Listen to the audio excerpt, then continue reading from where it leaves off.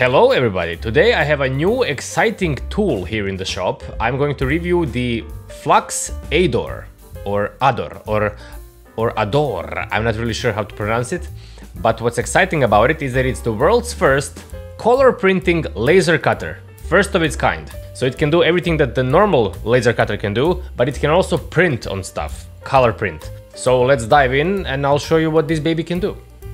It came very well packaged in a sturdy cardboard box with lots of supports and styrofoam inside, so even if your delivery guy is not the most gentle person in the world, the machine should be pretty safe. It weighs 19 kilograms, I was able to move it by myself, but it, but it feels pretty heavy. And that's because it's made from sheet metal, so it's very rigid and it feels well built. And it looks pretty stylish in my opinion. So the biggest feature of Flux Ador is that you can use it with three different modules. First one is the laser module for engraving or cutting different materials. The second module is the infrared laser, which is specifically used for engraving metals. And lastly, their brand new feature, the full color printing module. I'll cover all of them and we'll start with the laser module. The first setup of the machine was extremely simple. Once turned on, the machine greets you in every language in the world and guides you through the installation steps. It was very easy. Basically the only thing I had to do was to remove these two screws that serve as a protection during the shipping. The laser head was now free to move and the next thing was to remove the ventilation cover and install the flexible exhaust hose. And as I said, every step was nicely explained on the screen. Lastly, I removed this screw on top, installed the laser module, and then fastened it with that same screw. And basically that's all of the setup you need to do. Now it's ready to use. I also tested the Beam Air exhaust filter and I'll talk about it a little bit later.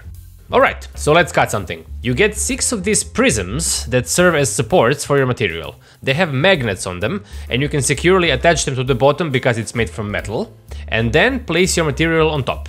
One thing I was very happy about is the autofocus feature. You just need to bring the laser head over your material and press the autofocus button on the screen for 3 seconds. The laser head will then automatically lower until the sensor touches the material and the laser beam will now be perfectly distanced from the surface of the material. So the machine does everything by itself and you don't need to worry whether or not you set the distance correctly. A quick word about the software. Beam Studio is a free software you can download from their website. It's very simple to use and it's similar to many other graphic softwares. On the left you have the shapes or text that you can create, and you can obviously import your own designs that you created in other vector programs. Pretty standard stuff. But there is this camera button in the corner, and when you press it, this 8 megapixel high resolution camera will take a picture of your entire work surface. It only takes a couple of seconds to take the photo, and now you can see exactly where your material is, and it eliminates any guesswork from the positioning of your design.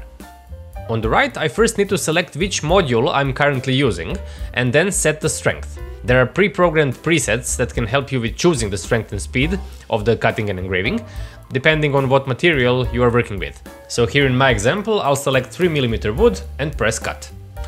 The plastic lid acts like sunglasses basically, and it prevents you from damaging your eyes during cutting. It also prevented me from getting a good shot of the laser in action, so I risked my phone and placed it in the machine during cutting to get you the best action angle.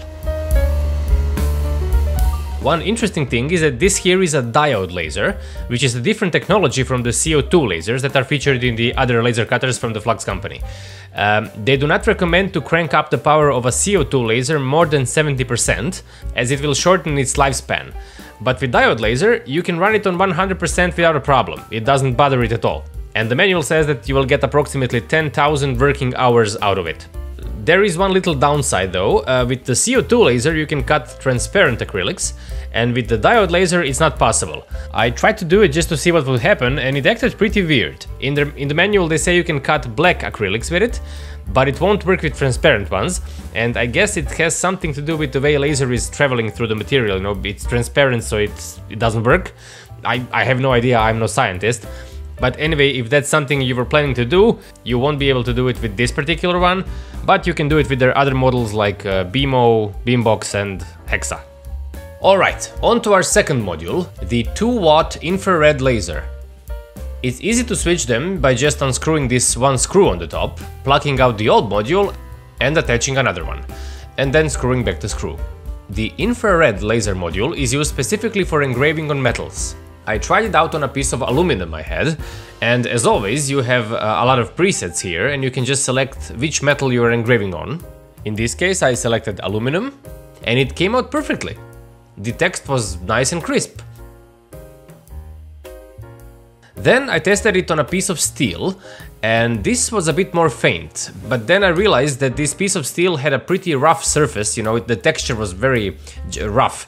So I tried it again on a smoother piece of steel, and this time it worked great. Uh, the left side is the factory finish with mill scale, and on the right I sanded it to a nicer surface, and it worked really good on both surfaces. So yeah, steel is another metal you can engrave.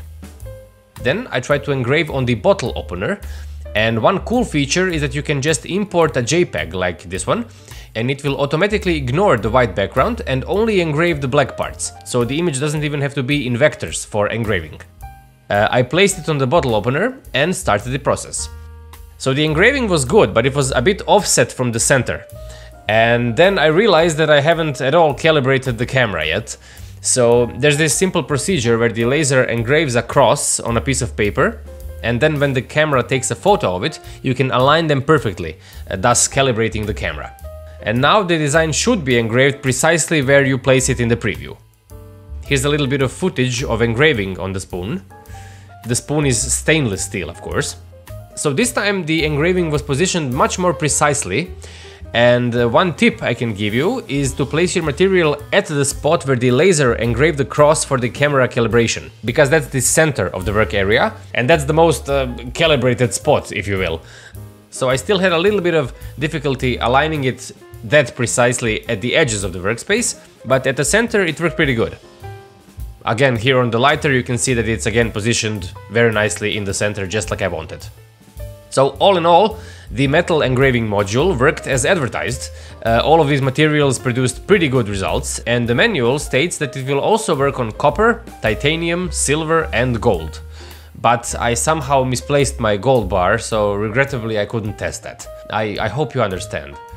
Okay, and now the pièce de résistance, the print module. All of these modules are built from metal and they're heavy and well made, and this one is no exception. To print, you will also need the cartridges with four colors, cyan, magenta, yellow and key, which is black. This time we will import a picture that we want to print, and when I select the printing module, the program will understand it's a color picture. I position it where I want, and now I need to separate it into four colors. It's very easy to do with just one click, and then the program basically does it for you. Uh, and now you can see each color is separate. One more thing you need to do is place this icon somewhere on the material, uh, it's a place where each cartridge will dispense a little bit of color before printing to ensure a good start of the print. It starts with black color, so that's the first cartridge I need to put in. This is the printing in real time, uh, and it's pretty fast, it was about 45 seconds per color. After the black color is printed, you will get a notification on the screen to put in the next color, which was cyan. I took out the black cartridge and installed the cyan. Then you confirm it on the screen and the printer will print the next color. Third color was magenta. And lastly, yellow. After using the cartridges you need to put the lid on them uh, so they wouldn't dry. The cool thing about it is that now I can switch the module back to the laser cutter and cut out my design. Back in Beam Studio I used the pen tool to trace the outline around my image uh, of course, I also needed to select that I'm now using the 20 watt laser module, and I selected the preset for 3mm wood cutting. The laser then cut it according to the line I drew, and I was left with a finished Hello Kitty design. Isn't it nice? The fact that you are manually switching the cartridges uh, could result with you accidentally bumping the material and then the color won't align properly. You can see here that my yellow pass is a little bit offset because of that, but I guess that's something that can be avoided with more practice, you know. I used this machine for only a couple of days when I was filming this, but I have their older model uh, Beambox Pro for two years now, and one thing I learned is that as you use it, you get more and more confident, and, and you learn all the tricks on how to use it to get best results, as with uh, basically any other tool. But in all honesty, I have the same thought that you probably have, and that's uh, wouldn't it be more practical to have all the colors in one printhead and not have to switch them manually? Well, yes, it would, but I'm sure they had a pretty good reason why it's not like that. Perhaps it would be too costly to produce or something, I, don't really know. But at the end of the day, it's not that hard to switch them. For example, both the Hello Kitty design and this one were made under 8 minutes and that's including the printing, switching the module to the laser and cutting. So it goes pretty fast. One job where I think the printing module could really excel is, is branding your products. Let's say you have a logo like this one and you want to print it on something that you're selling. Printing of this logo took 23 seconds. Then I engraved the same logo with a laser module and it took 3 minutes and 7 seconds. So printing is basically 8 times faster than engraving. You know, it could be a huge time saver if you, if you have to do it a lot.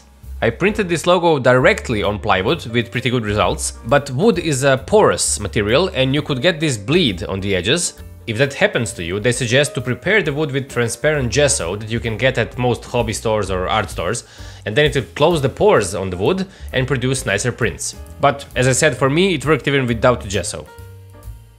The color itself is called Eco Solvent ink. It's dry immediately after the printing is done, so there's no additional drying time, they are not advertising this paint as waterproof, but I still tried rubbing it with some water and uh, all of them did pretty okay except the magenta, that one smudged a little bit.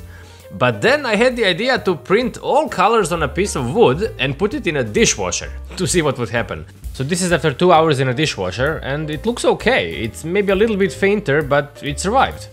I also printed this Hello Kitty design on a t-shirt which worked pretty good and this is the same t-shirt after one wash cycle at 30 degrees Celsius. It's also a little bit fainter, but it's still here.